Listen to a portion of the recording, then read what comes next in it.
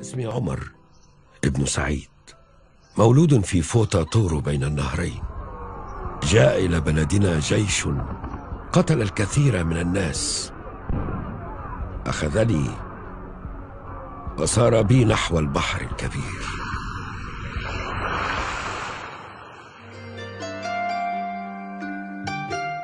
مساء الخير. أنا بقالي فترة بقرأ في رواية وبنزل quotes كتير قوي عنها. ها- وفي ناس كتير قوي سألتني عنها. هي اسمها إيه؟ هي والرواية دي لمين؟ الرواية أو الرواية دي بتحكي عن إيه؟ فعشان كده سجلت الستوري دي. آه، الرواية دي آه، للكاتب الأردني الكبير قوي اللي أنا بحبه. آه، هي رواية أرض الله للدكتور آه، أيمن العتوم. الرواية دي الصراحة أنا بعتبرها برغم إن أنا بحب دكتور أيمن وجميع أعماله إلا إني بعتبرها رواية استثنائية ورواية إنسانية من الدرجة الأولى. طب ليه أنا بعتبرها استثنائية وإنسانية من الدرجة الأولى؟ لأنها بتحكي عن رواية عن شخصية حقيقية. و... وغالبا دكتور أيمن بيعمل كده كتير جدا في أعماله زي رواية اسمه أحمد وكلمة الله آه، ويا صاحبي السجن. كتير قوي جدا في أعماله لكن الرواية دي إنسانية استثنائية. أي حد بيتعلم الكتابة أو عايز يعرف عن مشاعر الفقد والأمان و... والحزن والألم وشعور إن أنت تفقد إنسان إلى مدى الحياة حتى ما يكونش من حقك إن أنت تدفن الجثة بتاعته. ده بقى يكون حق مش من حقك إن أنت تعمله. أو كون إن أنت عايز تتغوط أو تتبول ده برضو حق مش من حقك.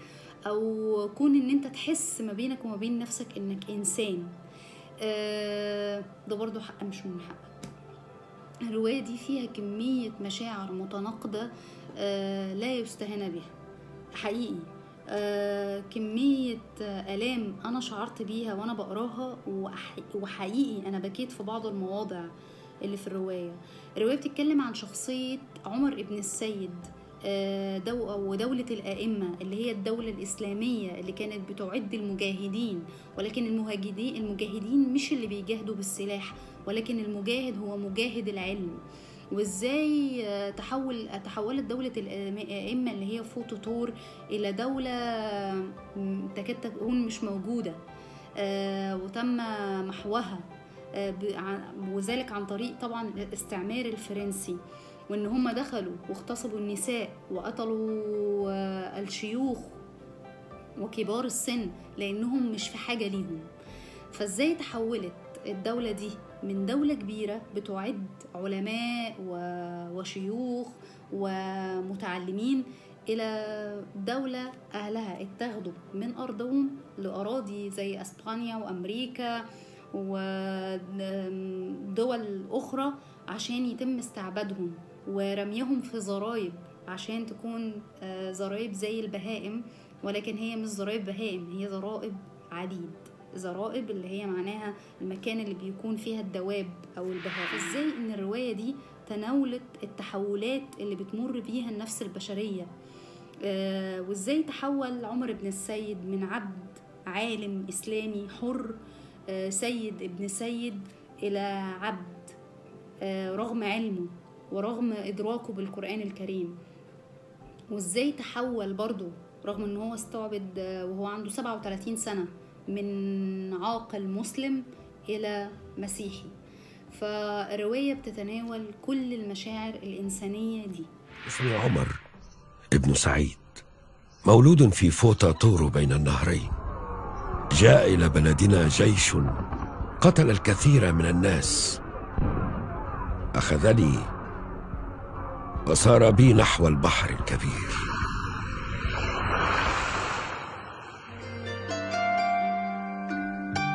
شخصية عمر السيد هي شخصية مش من محض خيال دكتور أيمن العتوم هي شخصية حقيقية. هي اللي كتبت قصتها بخط إيديها. المخطوطات والكعوب دي كتبت آه، بإيد آه، عمر بن السيد عن دولة الأئمة وفوتاتور وإزاي آه، تم دخول الفرنسيين آه، لأراضيهم وتم استعبادهم وقتل نسائهم واغتصابهم وأطفالهم وكبار السن. كتب كل ده بس كتبه في ولاية كارولاينا الشمالية سنة 1863 أو في أوائل 1863 كتبها كأنه بيكلم حد قدامه. الحد ده هو ابنه. آه، بينقل ليه مشاعر اللي حس بيها. بينقل ليه كل التحولات اللي طرأت عليه. من تركه للإسلام واعتناقه المسيحية. وإن كنت أظن إن هو لحد نهاية أو آخر يوم في حياته كان معتنق الإسلام. لأن الأسلوب اللي مكتوب بيه المخطوطة فيه تأثر كبير أو في استشهاد كتير بآيات قرآنية. ما أظنش ده ترك للإسلام نهائي يعني. آه، فالرواية عموما آه، حسيت فيها كمية مشاعر إنسانية هائلة. آه، حتى إني بكيت وحزنت جدا في بعض المواضع.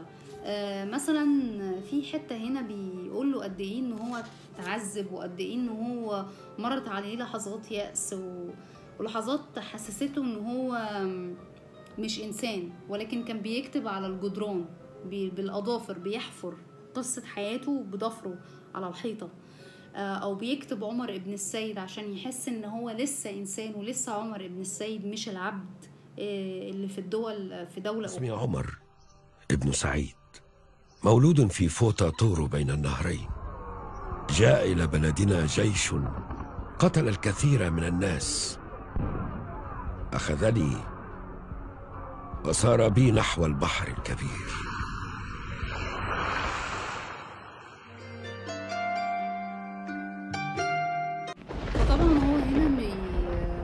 بيكلمه كأنه ابنه يعني بيكلم ابنه كأنه قدامه وبيقول له إن إحنا ما كناش بنلاقي أوراق أو مش بنلاقي أي شيء أو حتى قلم أبسط الحقوق الإنسانية إن الإنسان يدون أو يكتب أو يقرأ ده مش من حقه. فبيقول له بيقول له ال- الإحساس اللي هو كان بيحس بيه وبيكلمه عن الذكريات كأنه قاعد قدامه وبعد كده بيخش في قصة شعبه اللي هو دولة الأيام فبيقول له لم يكن لدي في البداية هنا أي شيء. يمكنني أن اخط عليه. ولو بضع كلمات ماذا أفعل بهذه السنوات القاسيات التي مرت علي؟ إنني أريد أن أتعافى من ندوبها العميقه فكرت في الكتابة إليك وهذا ما فعلت. أعرف أن بعض تلك الجراح سوف تبرأ أو تتوقف الذكرى عن التحرش بها لو أنني كتبت بها إليك. لكن أين أكتب؟ وكيف؟ لم يكن مسموحا لي ولا لغيري أن يحلم بأن يحمل قلما طوال سنين سحيقة عوضا على أن يحصل على ورقة لكن لا بأس لدي. لدي دائما وسيلة للتغلب على ذلك. لقد حفرت بأظافري على الجدران تفاصيل حياتي هنا وأحداثا كان لا يمكن تصديقها لولا أنني عشتها بنفسي. كلما هممت بحفر سطر جديد على الجدران وجدتني دون آه، دون تخطيط أحفر كلمة أحب.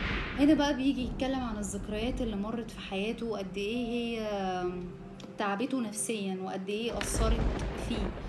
آه سواء الذكرى اللي هي قتل آه قتل والده على يد بندقية مستعمر فرنسي. آه إن التمساح اللي كل أخته وهو كان مش قادر يعمل لأخته أي حاجة. فبيقول له إيه؟ إن الذكريات التي هربت منها في الماضي هي التي تطاردني الآن.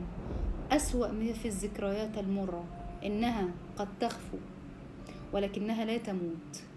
قد تنساها ولكنها لا تنساها. ولكنها لا تنساك.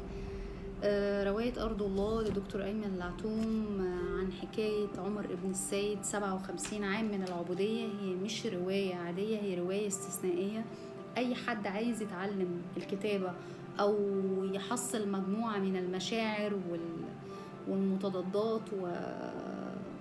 والأحاسيس المختلفة عن. عن الفقد والحزن والحب والفراق آه، أرض الله رواية حلوة قوي اسمي عمر